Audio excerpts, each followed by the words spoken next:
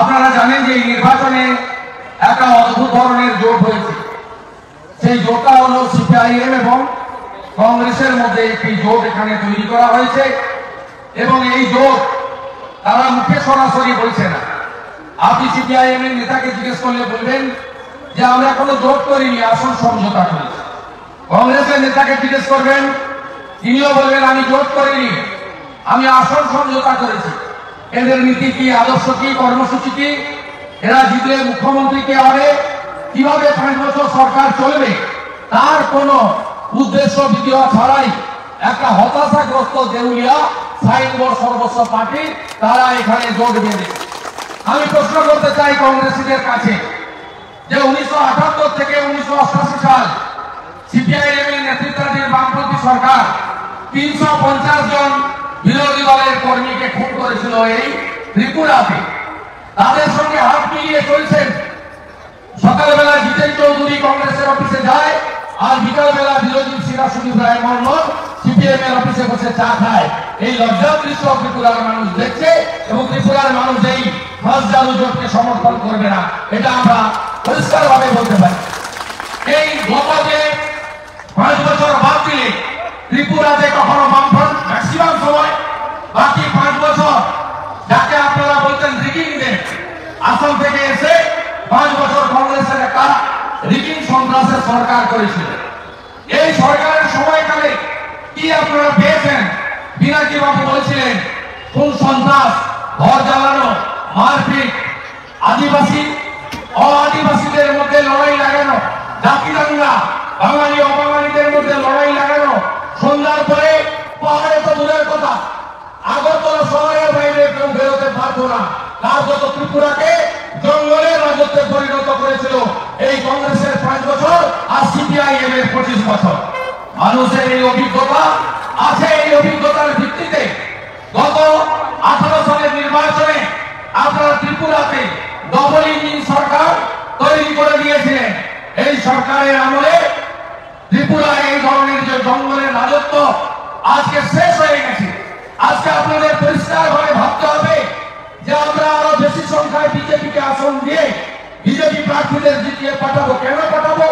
তার কারণে উত্তর পূর্বাঞ্চলে প্রান্তিক রাজ্য ত্রিপুরা, যেখানে বাংলাদেশের বর্ডার পর্যন্ত রয়েছে, এই ত্রিপুরা রাজ্যে যেখানে কৃষিকাজ প্রধান জীবিকার একমাত্র মাধ্যম, যে ত্রিপুরা থেকে হাজার হাজার লক্ষ লক্ষ শ্রমিকরা তারা উত্তর পূর্বাঞ্চলের আসাম থেকে শুরু করে ভারতবর্ষের নানা প্রান্তে তারা চলে যেতে বাধ্য হয় নিজেদের রুটি রুজির জন্য। সেই ত্রিপুরাতে আপনারা ডবল ইঞ্জিনের সরকার আনবেন, না সিঙ্গেল ইঞ্জিনের উপরে ভরসা করবেন। তার কারণ দিল্লিতে আপনারা জানেন বিজেপি সরকার আছে। আপনারা দিল্লিতে জানেন যে মোদীজির নেতৃত্বে যে বিকাশবাদ এবং সুশাসন চলছে, এটা আরও আরও দশকের পর দশক ধরে চলবে। এটা নিয়ে দিল্লিতে মোদীজির কোন বিকল্প নেই। মোদীজির কোন অল্টারনেট দিল্লিতে নেই। উত্তরপ্রদেশের শেষ নির্বাচনে প্রমাণ হয়ে গেছে। দু হাজার চব্বিশ আগলিবার মোদীজি চারশো পার। এটা পরিষ্কার হয়ে গেছে। তাই সিঙ্গেল ইঞ্জিনে চড়ে ঝুঁকির মধ্যে ত্রিপুরা যাবে কেন? এই যে জাতীয় সড়কের কাজ চলছে, ষোলো হাজার কোটি টাকা ত্রিপুরায় রেলের নেটওয়ার্ক বাড়ানোর জন্য মোদীজির এত দীর্ঘ প্রয়াস, এই যে ত্রিপুরার জলপথকে আন্তর্জাতিক জলপথের সঙ্গে যুক্ত করা, ত্রিপুরার সঙ্গে, পশ্চিমবঙ্গকে, ত্রিপুরার সঙ্গে পার্শ্ববর্তী রাজ্য আসাম গৌহাটিকে আরও তাড়াতাড়ি যুক্ত করার যে ব্যাপক প্রয়াস ভারত সরকারের পক্ষ থেকে নেওয়া হয়েছে, আগামী দিনে ডবল ইঞ্জিন সরকার ছাড়া এই কাজ সম্পূর্ণ করতে পারবে না। তাই ডবল ইঞ্জিন সরকারের উপরে ভরসা আপনাদেরকে আরও বিপুল ভোটে বিজেপি সরকার আরেকবার তৈরি করতে হবে।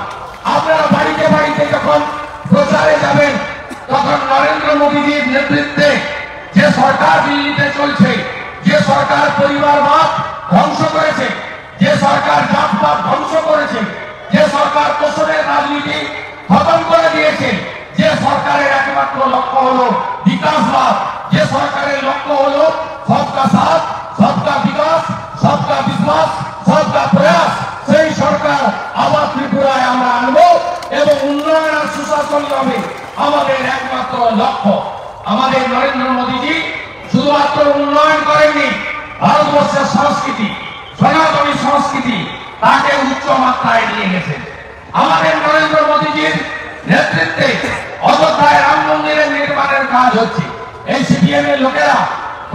লোকেরা বলতো মন্দির ওই বানায়নি লেকিন ডেট নেই বাতায়নি এই কথা বলে বিজেপিকে অপমান করত আর আজকে অযোধ্যার ফরিদাবাদে ভগবান রামচন্দ্রের মন্দির নির্মাণ হচ্ছে এবং আমাদের যশস্বী স্বরাষ্ট্রমন্ত্রী অমিত শাহজি ঘোষণা করেছেন পয়লা জানুয়ারি দু হাজার চব্বিশ রাম মন্দির জনগণকে উৎসর্গিত করা হবে।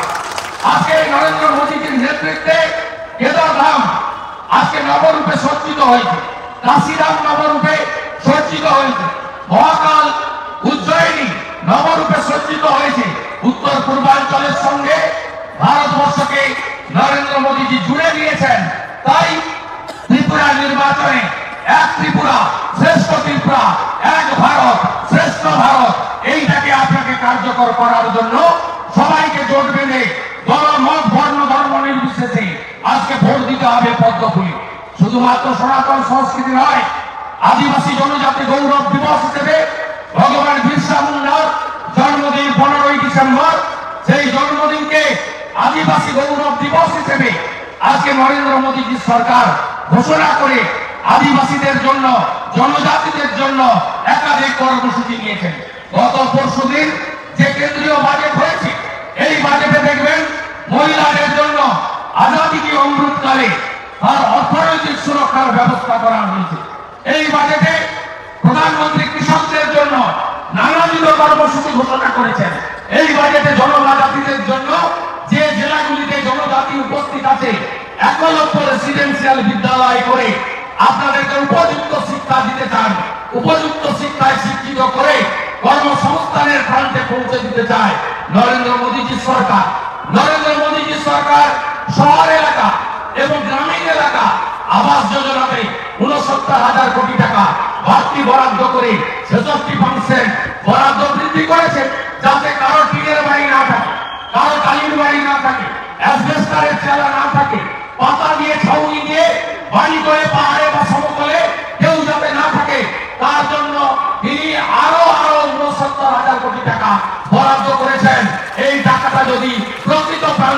মানুষের হাতে পৌঁছায়, তার জন্য পিনাকি বাবু আর কল্যাণী দিকে আগরতলার বিধানসভায় পাঠানো উচিত।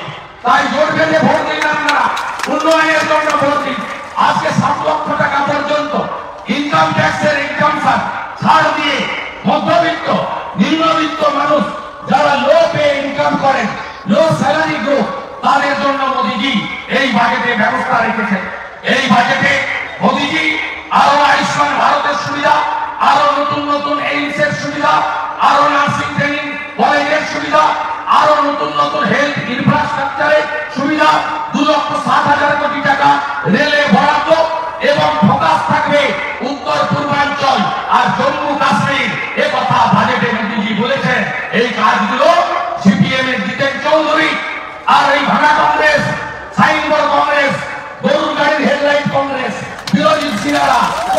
করতে পারবেন না।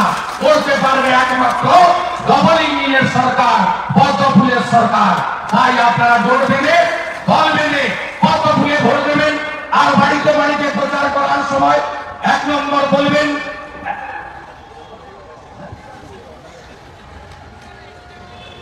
এক নম্বর বলবেন, Ujala gas one two. Modiji ব্যবস্থা করেছেন। এই রাজ্যেরও কয়েক লক্ষ রমণী গ্যাস পেয়েছেন, উজালা ওয়ান টু। শৌচালয় মুক্ত বাড়িগুলিতে শৌচালয় দিয়েছেন। স্বচ্ছ ভারত অভিযানের মধ্য দিয়ে প্রধানমন্ত্রী আবাস যোজনা দিয়েছেন। দিয়েছেন প্রধানমন্ত্রী গরিব কল্যাণ যোজনায় পাঁচ কেজি করে মাথা পিছু ফ্রি রেশন চাল আর গম মিলিয়ে আপনার পরিবারে যদি সাতজন থাকে, পঁয়ত্রিশ কেজি করে চাল আর গম আপনি মাসে নিয়ে আসছেন বিনা পয়সায়। দু হাজার একুশ সালে মে মাসে এই কর্মসূচি শুরু হয়েছে। ভারতবর্ষের একাশি কোটি লোক এই কল্যাণকর কর্মসূচির সুযোগ পাচ্ছে। বছরে দু লক্ষ কোটি টাকা ভারত সরকার দিচ্ছে। এই ফ্রি রেশন মোদীজির আশীর্বাদ। এই কর্মসূচি যদি ত্রিপুরাকে আরও জনমুখী করতে হয়, আমাদের বিজেপি সরকার আনতে হবে। আয়ুষ্মান ভারত, পাঁচ লক্ষ টাকা পর্যন্ত আপনাদের চিকিৎসার খরচ ভারত সরকার নিচ্ছে আমি পাশের রাজ্য পশ্চিমবঙ্গ থেকে আসি। ওখানে আয়ুষ্মান করেনি। ওখানকার compartmental chief minister Mamata Banerjee. যিনি আমার কাছে দু সালে বিধানসভার ভোটে এক হাজার নশো ছাপ্পান্ন ভোটে নন্দীগ্রামে পরাজিত হয়েছেন। তিনি আয়ুষ্মান ভারত চালু করেননি। তাই আপনারা যখন হেলথ কার্ড নিয়ে কলকাতার কোনো হসপিটালে নার্সিং হোমে যান, সে সুযোগ আপনারা পান না। কিন্তু সেই কার্ড নিয়ে যখন দক্ষিণ ভারতে যান, এমসে যান, গৌহাটি এমসে ভেলোরের সিএমসিতে যান, বাঙ্গালোরের দেবী যান, মুম্বাইতে ক্যান্সার টাকা হসপিটালে যান, তখন কিন্তু আয়ুষ্মান ভারতের সুযোগ পাচ্ছেন। এটা ভারত সরকার মোদীজি দিয়েছেন। তাই ত্রিপুরার মানুষকে দুরারোগ্য ব্যাধি থেকে দূরে থাকতে গেলে আরও আরও আয়ুষ্মান ভারতের সুযোগ নিতে গেলে কল্যাণী দিকে আর পিনাকি বাবুকে পদ্ম ফুলে ভোট দিয়ে নির্বাচিত করতে হবে। এই শপথ নিয়ে আজকে আপনাদেরকে বাড়ি ফিরে যেতে হবে। আজকে পাশে চিনে যান। হসপিটালগুলো উঠছে গেছে। হসপিটালের বাইরে লোক লাইন দিয়ে দাঁড়িয়ে আছে। করোনা ছেয়ে গেছে।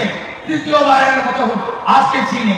আমেরিকার মতো অর্থশালী উন্নত দেশ, তিরিশ কোটি মাত্র জনসংখ্যা, তারা পর্যন্ত ভ্যাকসিনেশন কমপ্লিট করতে পারেনি। আর আমাদের দেশে একশো পঁয়ত্রিশ কোটির দেশে ডবল ভ্যাকসিন তো সবাই নিয়ে নিয়েছি আমরা। ট্রিপল ভ্যাকসিনও নিয়ে নিয়েছি। আমার মুখে মাস্ক নেই, আপনার মুখে মাস্ক নেই। আমরা আনন্দের সঙ্গে এবারে ত্রিপুরায় ভোট দেবো মাস্ক ছাড়াই ভোট দেবো। সোশ্যাল ডিস্টেন্সিং না মেনেই ভোট দেবো। স্যানিটাইজারে হাত পরিষ্কার, না করতে করতেই ভোট দিয়ে দেবো। এটা করেছেন কে? ভারতের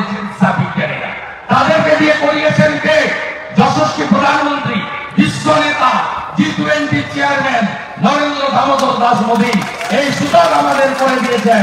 আমরা তিনটে ভ্যাকসিনে একটা টাকাও আমাদের দিতে হয়নি। তাই এবারের নির্বাচনে আপনারা উন্নয়নকে ত্বরান্বিত করতে জাতিবাদ, আদিবাসী জনজাতি, বাঙালি বিরোধ, আগের জঙ্গলের রাজত্ব সব খতম করে এক ত্রিপুরা, শ্রেষ্ঠ ত্রিপুরা, এক ভারত, শ্রেষ্ঠ ভারত।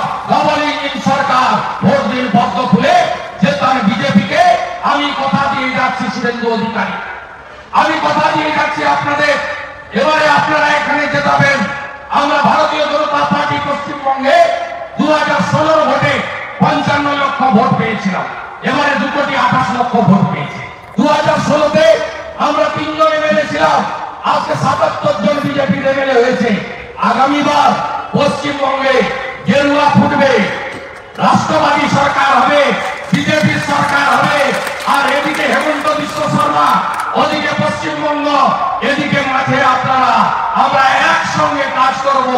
আমরা আমাদের জনজাতি বাঙালি মিলে এই এলাকাকে উন্নয়নের চরম শিখরে নিয়ে যাব। আপনাদের সঙ্গে পশ্চিমবঙ্গের দূরত্ব একত্রিশ ঘণ্টা। এই একত্রিশ ঘন্টাকে দশ ঘন্টায় বেনাপোল পর্যন্ত করানোর জন্য জাতীয় সড়কের পক্ষ থেকে বড় উদ্যোগ ভারত সরকার নিয়েছে। এটা হয়ে গেলে এগারো ঘন্টায় আপনারা পৌঁছে যাবেন ওখানে। যেমন এখন তাড়াতাড়ি গৌহাটিতে ট্রেন সংযোগ হওয়ার পরে পৌঁছে যাচ্ছে। মোদিজি মানে নতুন এয়ারপোর্ট, মোদিজি মানে নতুন সড়ক, মোদিজি মানে উন্নয়ন, মোদিজি মানে নতুন এইমস মোদিজি মানে সেন্ট্রাল ইউনিভার্সিটি, মোদিজি মানে আইআইটি, মোদিজি মানে উন্নয়ন। বেকার যুবকদের কর্মসংস্থান থেকে শুরু করে গোটা রাজ্যে ডাক্তার মানিক শাহর নেতৃত্বে যে সুশাসন আছে, এই সুশাসনকে আরও শক্তিশালী করার আবেদন জানাব। আমি নিশ্চিত মাতা ত্রিপুরা সুন্দরীর আশীর্বাদে এবারে ভারতীয় জনতা পার্টির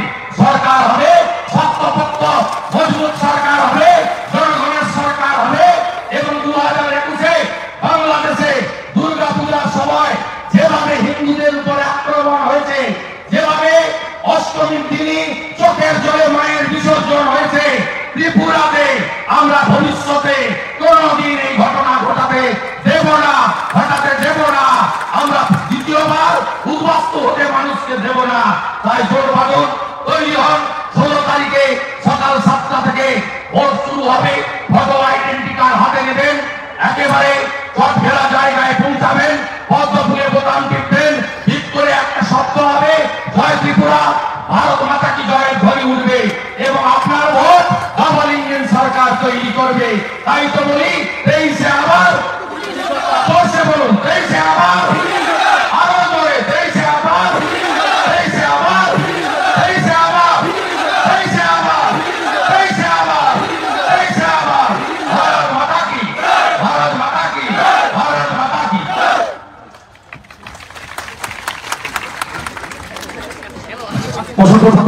আমাদের সকলের প্রিয় দাদা অধিকারী